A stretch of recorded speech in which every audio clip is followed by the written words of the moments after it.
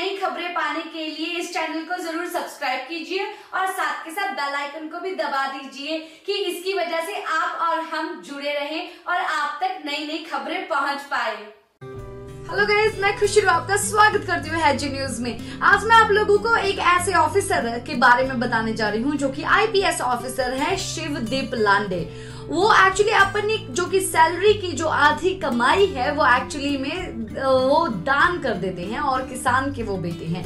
चलिए जानते हैं उनका क्या है ये पूरा मामला, उनके ऊपर नज़र डालते हैं। पर उससे पहले अगर आपने चैनल को सब्सक्राइब नहीं किया चैनल को सब्सक्राइब कर लीजिए बेल आइकन को दबा दीजिए। इसके साथ शुरू करते हैं आज की न्यूज़ तो गैज आप लोगों को पता है कि हमारी जो की सरकार है, हमारी जो पुलिस डिपार्टमेंट है, इतनी, इनकी जो छवि है, हमारे ऊपर इतनी ज़्यादा अच्छी नहीं है। और कोई भी एक्चुअली में पुलिस डिपार्टमेंट का चेहरा तक नहीं देखना चाहता। और कभी कभार उनको जब चेहरा देखना पड़ जाता है, तब वो लोग ही बोलते कि पुलिस के चक्कर में कभी नहीं पड़ना चाहिए। क्योंकि पुलिस करप्ट होती है, बहुत ही ज़्यादा घूस खाती है। तो गैज इन सब चीज़ों के बीच में हमारे सामने कुछ ऐसे ऑफिसर्स आते हैं जो कि इन सब छवियों को काफ़ी ज़्यादा खत्म कर देते हैं। यानी कि उनका जो आ, उनका जो प्रेजेंस रहता है जब हम हम उनके बारे में सुनते हैं तो काफ़ी ज़्यादा अच्छा लगता है।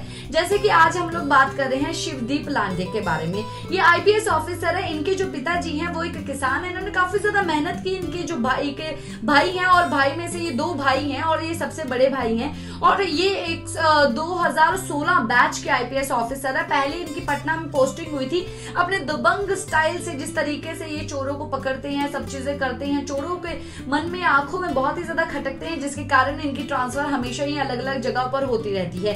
अभी ये महाराष्ट्र में आईपीएस पद पे हैं और उस दौरान ही इनकी 2000 एक्चुअली 14 में शादी हुई और इनके फ्रेंड की एक शादी में इनकी मुलाकात वहीं के महाराष्ट्र के एक मंत्री की बेटी से हुई, जिनका नाम है ममता। और वो ममता के साथ प्यार में पड़े, फिर उसके बाद शादी होगी। शादी के बाद अभी ये फिर दोबारा से सुर्खियों में है अपने नेचर को लेके कि ये वैसे चोरों के लिए तो काफ़ी ज़्यादा दबंग है और अपनी पत्नी के लिए, अपने परिवार के लिए काफ़ी ज़्यादा सॉफ्ट है। और जब इनसे बात की गई, तब इन्होंने ये चीज़ बताया कि मुझे मीडिया ने दबंग बनाया है, पर मैं दबंग नहीं हूँ, मैं बस लोगों की बस हेल्प करता हूँ। और ये अपनी सैलरी का सिक्सटी जो भाग है, वो गरीबों में बांट देते हैं और काफ़ी सारे ऐसे आयोजन है जिसमें ये पार्टिसिपेट करते हैं और वहाँ पर जाके वो लेक्चर्स देते हैं, सबको बताते हैं, बच्चों को आगे बढ़ने का भी तरीका बताते हैं। तो गाइज़ आई होप आप लोग को इस आईपीएस ऑफिसर के बारे में जान के अच्छा लगा होगा और आप भी अपनी लाइफ में काफ़ी अच्छा करें, हम आशा करते हैं। इसी के साथ मैं लेती हूँ इजाज़त बबाई टेक केयर नमस्कार।